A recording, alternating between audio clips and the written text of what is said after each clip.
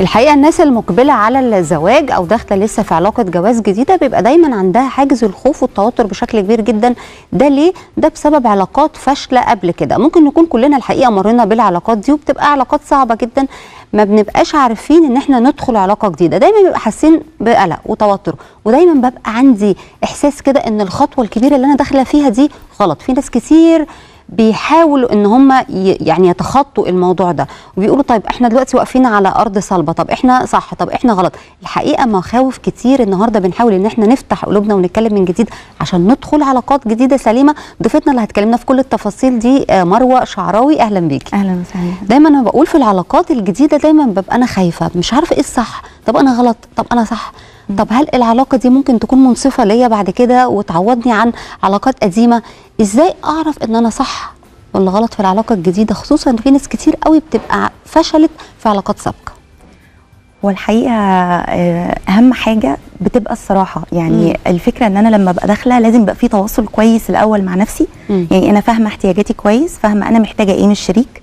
فأنا فاهمة نفسي كويس فأنا داخلة العلاقه وأنا عارفة أنا محتاجة إيه من الطرف الآخر إحنا بنبقى عارفين إحنا محتاجين إيه إحنا بنتكلم على الأطراف التانية اللي مش أيوة. عارفة هي عايزة إيه بالظبط المشكلة بقى إن إحنا يعني التواصل الجيد من الأول والاستماع لبعض وإن إحنا يبقى عندنا صراحة إن كل واحد يعبر عن احتياجاته مم. وكل واحد يتعب يعبر برضو عن مخاوفه وتوقعاته من العلاقة ده كله بيبقى مدي كده صورة من الأول إذا مم. كانت العلاقة دي هتكمل ولا لأ مم. يعني إذا كانت اهتماماتنا واحدة إحنا قادرين نبقى حاسين بالأمان وإحنا بنتكلم مع بعض آه، في راحة نفسية في عارفة سيف زون كده يعني أنا قادرة أتكلم براحتي صح. وهو كمان قادر يعبر يعني عن أنت تقصدي تقولي إن في الأول كده لازم يكون في كيمياء وتواصل بالظبط. وتكافؤ في ال- مع الطرفين يعني أنا أحس إن الطرف ده شبهي بالظبط. وهو وأنا بالظبط. شبهه في حاجات كتير مشتركة فده بيقول إن العلاقة دي هتكمل بالظبط بالظبط. ومهم كمان إن أنا يعني الجزء اللي أنت قلتيه في الأول اللي هو فكرة الفشل يعني لو أنا فاشلة في علاقات قبل كده أو في. علاقات قبل كده ما كملتش معايا فأنا محتاجة بس أحط الفشل في يعني في في صورته المحدودة إن هو دي حاجة طبيعية جدا. يعني كلنا كبشر معرضين آه. لعلاقات كلنا مرينا بعلاقات. زي دي. آه. بالظبط كده. فما ينفعش بقى إن إحنا نحط الفشل ده إن إحنا مقصرين أو مشكلة عندنا. مم. لازم يبقى عندنا كده توازن في التعامل مع نفسنا. إن إحنا نبقى فاهمين المشكلة فين من غير ما يبقى عندنا لوم ذات وجلد ذات. يعني نبص للموضوع بشكل موضوعي أكتر. طيب خلينا نتفق ونقول إن في ناس كتير بتحاول إن هي تخرج من العلاقة بأقل الخسائر. بس خلينا نتفق برضو إن في ناس كتير بتتأثر بالعلاقات السابقة وما بتبقاش قادرة إنها تاخد قرار الجواز. إزاي ما تأثرش بعلاقات سابقة؟ إزاي ما بقاش مهزوزة؟ إزاي ما بقاش مش عارفة أقرر آه، إذا كنت أنا صح ولا غلط؟ في ناس عندها موضوع القرار ده بيبقى موضوع صعب جدا. أكيد. بيعدي سنين وسنين عشان تعرف تاخد أكيد. قرار وللأسف ما بتعرفش تاخد قرار. أكيد. إزاي ما تأثرش بعلاقات سابقة؟ بصي هو الأول أنا محتاجة يعني المخاوف في الدخول في علاقات عموما أنا محتاجة أفهم المخاوف دي مصدرها إيه. مم. يعني هل المخاوف دي بسبب إن أنا قبل كده أنا تعرضت لتجارب مؤلمة؟ مم. أو الناس اللي في محيطي تعرضوا لتجارب مؤلمة؟ فبالتالي أنا محتاجة هنا أعرف مصدر الخوف جاي منين. مم. الحاجة الثانية أنا محتاجة كمان إن أنا أعرف ال ال الخوف اللي أنا خايفاه ده بسبب إيه. يعني خايفة من الالتزام خايفة إن أنا أفقد استقلاليتي مثلا خايفة مم. إن أنا العلاقة تفشل. فلازم نعرف سبب المخاوف ومصدرها. ده أهم حاجة يعني. وبعدين محتاجين بقى نشتغل على حتة الثقة بالنفس. يعني أنا برضو آه، تاني المفروض إن إحنا لما نبقى داخلين علاقة عارفة إيه اللي بيضيع البوصلة بتاعتنا أو بيتوهنا؟ إن إحنا داخلين العلاقات إحنا مش فاهمين نفسنا أصلا. فبالتالي إحنا بنبص للعلاقة دي إنها مهرب هو ده الملجأ الوحيد. بالظبط. طب أنا أقف عند النقطة دي وأقول حاجة مهمة جدا. كل الناس سواء رجالة أو ستات بنات ولاد لما بيخل- بيخلصوا علاقة أو بيفشلوا في علاقة مم. اللي بيخليهم ينسوا الطرف الآخر إن هم يدخلوا بسرعة علاقة جديدة. أنت. شايفة إن ده غلط؟ ولازم ده- أخد وقت قد إيه عشان خاطر أبقى متوازنة نفسيا إن أنا أقبل على علاقة جديدة أو أكون مهيئة نفسيا لعلاقة جديدة. بصي السؤال ده جميل جدا طب كل الناس بتهرب. أنا خلصت هنا بالظبط. هدخل هنا على طول عشان أنسى عشان بالظبط. أتلهي. بالظبط. انت عارفة المشكلة في إيه كمان؟ إن إحنا ما بناخدش وقت التعافي. يعني وقت التعافي ده التعافي. هو أهم حاجة أصلا من قبل الدخول في علاقة جديدة لأن إحنا مش بنظلم نفسنا بس بنظلم الطرف الثاني أكيد. فهو ما ذنبوش حاجة وهي ما ذنبهاش حاجة فالفكرة كلها إن إحنا اولا محتاجين ناخد الوقت بتاع التعافي بتاعنا. إن إحنا ننسى العلاقة اللي فاتت نبص لها بتوازن نتعلم منها فنحس إن إحنا من جوانا كده تعافينا تماما.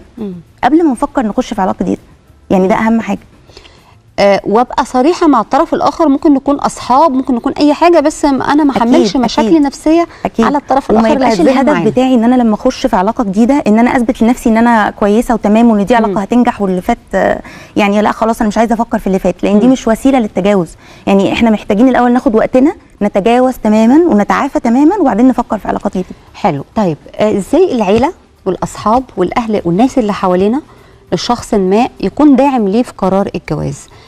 أنا بالنسبة لي بخاف أتدخل يعني إيه؟ يعني مثلا لو انت جيتي سألتيني طب إيه رأيك في الشخص ده؟ أنا بخاف أقول رأيي ليه بقى؟ مم. يعني بخاف بعد كده تقولي أصل انت قل- فاكرة لما انت صح. قلتي لي صح. أنا بخاف لي يكون قراري غلط بخاف لا يكون يعني ما أعرفش يعني بقول آه، كومنتات بسيطة قوي. إزاي يبقى الأهل يبقى عندهم القرار الصائب 100% إن هم هيكونوا مسؤولين على الطرف اللي موجود في العيلة سواء الابن أو الابنة؟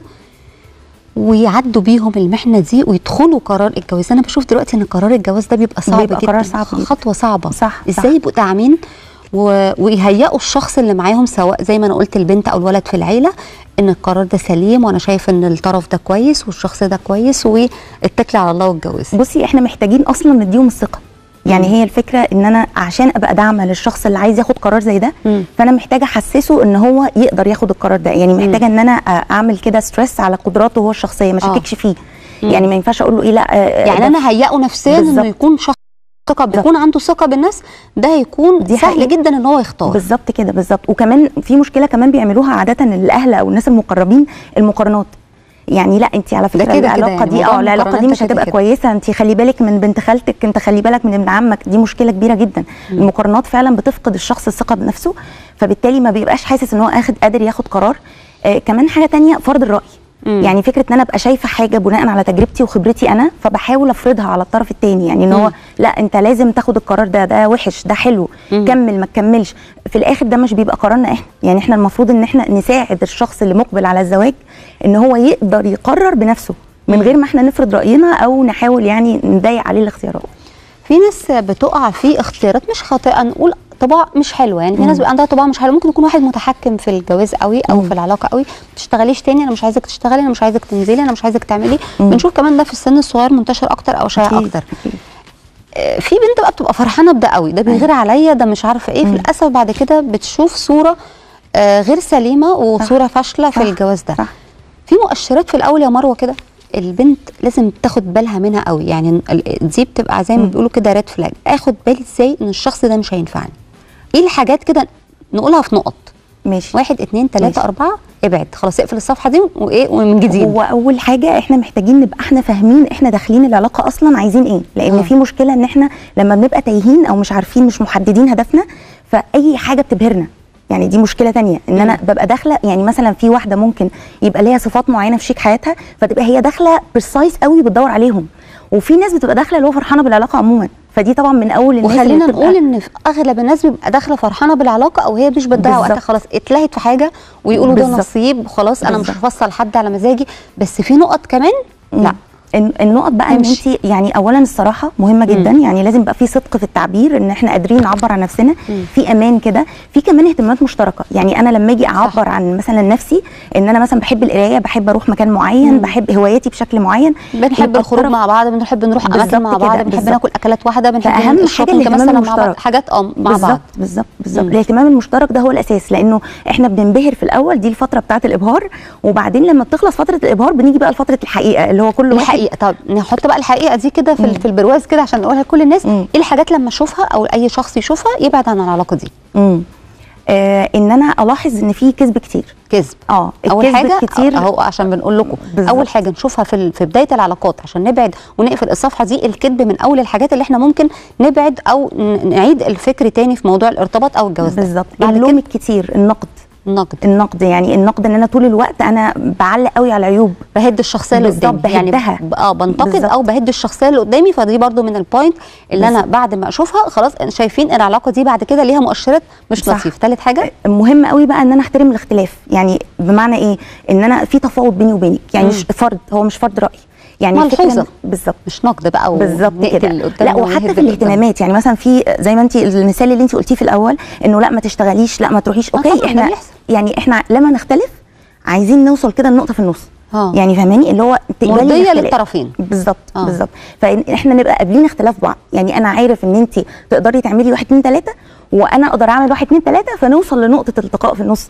فاهماني؟ لكن مش فكرة فرض رأي وخلاص في المجمل. يعني دي أهم حاجة. لا كذب لوم نقد وإيه تاني؟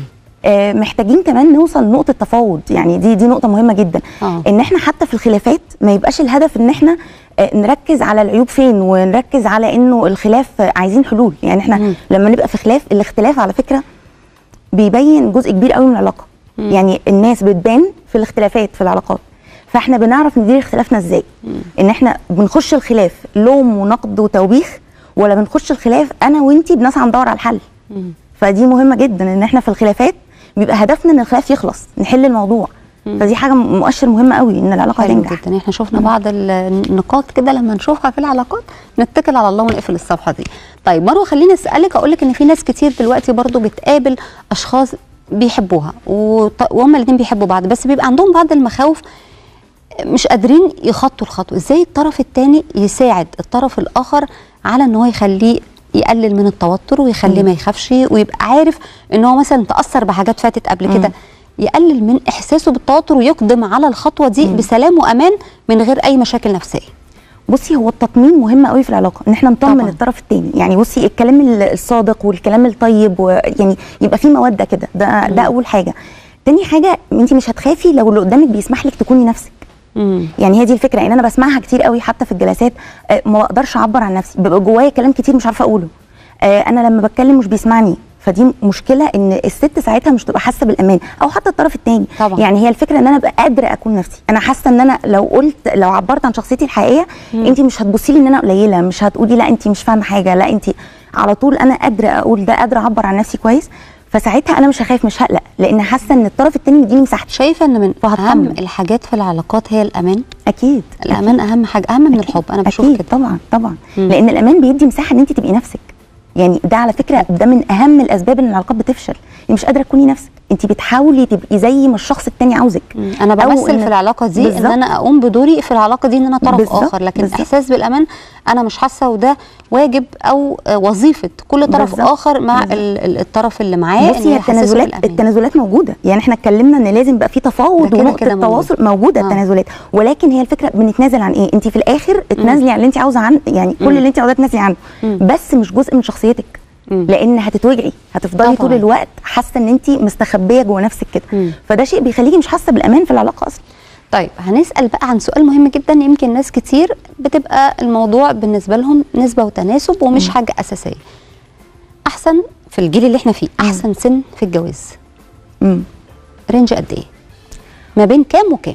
بصي هي صعب يعني لأن هي بتخ- بتختلف طبعا حسب كل عيلة وكل أكيد. بيئة والكلام ده كله. بس هو يتهيألي م- يعني دلوقتي مش أقل من 24 25 سنة. لأن تكون هي بدأت أو هو يكون بدأ يفكر في حياته هو هيعمل فيها إيه. يعني إحنا دايما سن بنتخيل البنت يا مروة أنا بقول سن البنت. البنت كام سنة. إحنا بنتكلم في 25 24 سنة 26. تكون خلصت الكلية بدأت تقف على بداية حياتها العملية. هي تختار بقى آه، هي عايزة إيه في حياتها. تشتغل يعني تقف ترسم كده. مهم قوي الموضوع ده. في ناس بتتجوز من سن صغير قوي للأسف. أنا. اتجوزت 20 سنة. كلنا كلنا كلنا كده. أعمل إيه والله. يعني 20 سنة ده صعب أو في ناس دلوقتي بتقول لك. لا لا خلاص. بعدين دلوقتي البنات بقوا شايفين نفسهم من بدري صح، 14 صح. سنة فتيجي عند 20 سنة تحس إن خلاص هي خلصت كل حاجة في حياتها عايزة تتجوز. وده برضو سن صعب جدا إنها تتجوز 20 انت سنة. عارفة ده كمان بيعمل مشكلة بقى إن إحنا بيبقى في أعباء زيادة على العلاقة. إن أنا لما بتجوز آه، ببص للعلاقة على إن هي أهم إنجاز في حياتي فبالتالي ده بيبقى عبء على الطرف الثاني إن الطرف. الثاني طول الوقت حاسس إن أنا لأ ما تعملش حاجة خدي لنفسك بالك ده شغل الشاغل كل الأطراف دلوقتي سواء بنات أو ولاد العلاقة هي أهم حاجة في الحياة هم ناسيين بالظبط. الشغل ناسيين الكارير ناسيين إن هم يحددوا مستقبلهم ويطوروا نفسهم والعلاقات. الباقية أصحابهم وعائلاتهم والجزء الروحاني وجزء إن أنا بعمل هواياتي خلاص، كل ده مش موجود. بالظبط أنا العلاقة دلوقتي. أهم حاجة فبالتالي ده بيعمل عبء عليها إن هي بيبقى عندها تعلق مم. وفي نفس الوقت عبء على الطرف الثاني إن هو حاسس إن هو طول الوقت شايلها. كل حاجة في الحياة أو بتقلل كل بالظبط. حاجة في الحياة. وتستنى العلاقة هي اول حاجة. سن الولاد أو الراجل يعني من الحاجات اللي بتبقى ناضجة كده والعلاقة بتبقى سليمة. سن كام تقريبا؟ آه، برضه في أواخر العشرينات يعني مش قبل 29 30 سنة. خلي بالك البنت نضجها أسرع من الراجل شوية. يعني ف- فرق لازم يكون 3 4 بالظبط، سنين مش أقل من النضج 3 4 اللي- سنين. مظبوط اللي بيمشي. العلاقات. أيوه مظبوط. مروه انت نورتينا وكانت فقرة جميلة جدا وكانت فيها معلومات. حلوة لكل الناس اللي بتشوفنا النهارده. بنشكر ضيفتنا اللي كانت منورانا مروة شعراوي. بنشكرك إن شاء الله تكوني منورانا في فقرات ثانية شكرا جزيلا وبكده